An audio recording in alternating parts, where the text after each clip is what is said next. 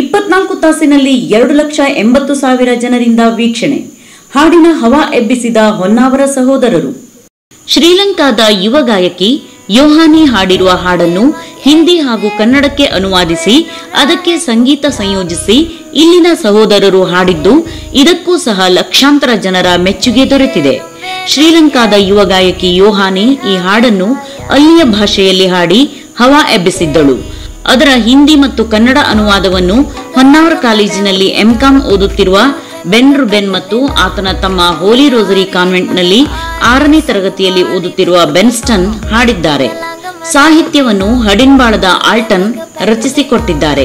ಇವರಿಬ್ಬರು ಹಾಡಿದ ಹಾಡನ್ನು ದಿನಾಂಕ ಏಳರ ಮುಂಜಾನೆಯಿಂದ ದಿನಾಂಕ ಎಂಟರ ಮುಂಜಾನೆಯವರೆಗೆ ಇಪ್ಪತ್ನಾಲ್ಕು ತಾಸಿನಲ್ಲಿ ಈ ಹಾಡನ್ನು ಎರಡು ಪಾಯಿಂಟ್ ಎಂಟು ಲಕ್ಷ ಜನ ಯೂಟ್ಯೂಬ್ನಲ್ಲಿ ವೀಕ್ಷಿಸಿದ್ದಾರೆ.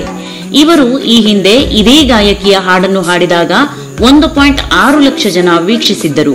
ಈಗಾಗಲೇ ಈ ಸಹೋದರರು ಹನ್ನೊಂದು ವಿಡಿಯೋ ಹಾಡುಗಳನ್ನು ಕನ್ನಡ, ಕೊಂಕಣಿ, ಇಂಗ್ಲಿಷ್ಗಳಲ್ಲಿ ಬಿಡುಗಡೆ ಮಾಡಿದ್ದರೂ ಇಷ್ಟೊಂದು ವೀಕ್ಷಕರನ್ನು ಪಡೆದಿರಲಿಲ್ಲ.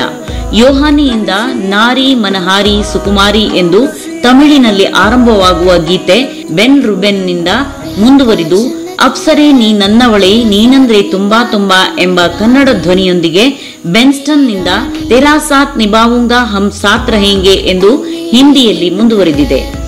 ಬೆನ್ ರೋಡ್ಸ್ ಮ್ಯೂಸಿಕ್ಸ್ ಹೆಸರಿನಲ್ಲಿ ಎರಡೂವರೆ ನಿಮಿಷದ ಈ ಹಾಡನ್ನು ಬಿಡುಗಡೆ ಮಾಡಲಾಗಿದೆ.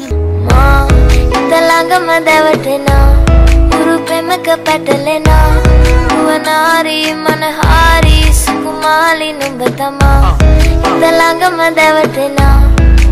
ప్రేమక పెట్టలేనా భువనారి మనహారి సుకుమాలి నుంబతమా ఇంతలాగా మదవటనా గురు ప్రేమక పెట్టలేనా భువనారి మనహారి సుకుమాలి నుంబతమಾ ಮನಿಕೆ ಮಗೆ ಹಿತ್ತೆ ಮೌನವೇ ಮುರಿದು ಮಾತಿನ ಕಾಯಿಲೆ ಮಳೆ ಚಳಿಲಿ ನಿನ್ನದೇ ಬೇಡಿಕೆ ಹಾಡುವಾಗಲನೆ ನಿನ್ನ ಸೇರುವೆ ತೆರಿಗೆ ಕಟ್ಟಿ ಕನಸು ದುಡುವೆಯ ಉಸಿರುಸಿರು ಬರಿಸುತ್ತಾ ಭಾವನೆಯ ತಿಳಿಸುತ್ತಾ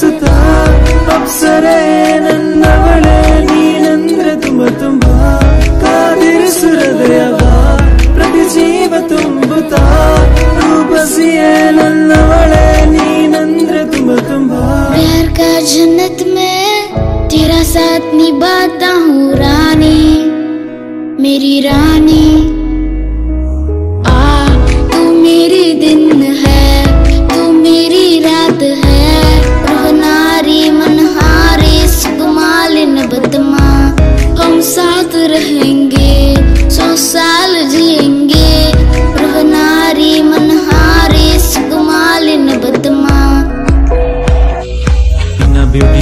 ಚಂದ್ರ ಮೂಲೆ ಸೇರಿ ಮೋಡದ ಹಂಚಿದ ದೃಷ್ಟಿಯು ಹಾಕಿ ಕುಲದ ಪ್ರಯನಂದರು. ನಿನ್ನ ವರಿಸುವೆ ನನ್ನ ಮೇಲಾಣೆ ಪಲಕಿಲಿ ಕೋರಿ ಸ್ವರ್ಗವ ನೋಡೋಣ. ನಿಜ ಬೆಸುಗೆಗೆ ಸಾಕ್ಷಿಯಾಗೋಣ. ಲೈಲಾ ಮುಜುನಿಗೆ ಸೈಡ್ ಹೊಡೆಯೋಣ. ಮೆಟ್ಫಳಿ ಚಾದರ್ ಪ್ರೂವ್ ಮಾಡೋಣ.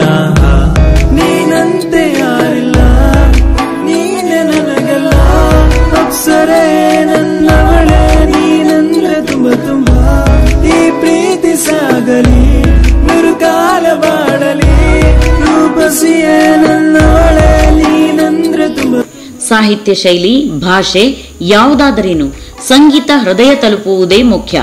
ಭಾಷೆ ದೇಶ ಗಡಿ ಮೀರಿದ ಸಂಗೀತ ಎರಡು ಲಕ್ಷಕ್ಕೂ ಹೆಚ್ಚು ಜನರನ್ನು ತಲುಪಿರುವುದು ವಿಶೇಷ.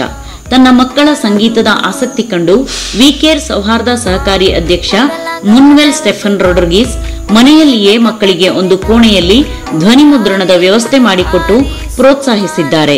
ಇಬ್ಬರು ಕೀಬೋರ್ಡ್ ತಬಲಾ ಕಲಿಯುತ್ತಿದ್ದಾರೆ. ಲಾಕ್ಡೌನ್ನಲ್ಲಿ ಮನೆಯಲ್ಲಿ ಕುಳಿತಾಗ ಹಾಡಿಕೊಂಡಿದ್ದೆವು. ಅದೇ ಈ ಸಾಹಸಕ್ಕೆ ಪ್ರೇರಣೆಯಾಯಿತು ಎನ್ನುತ್ತಾರೆ ಈ ಸಹೋದರರು.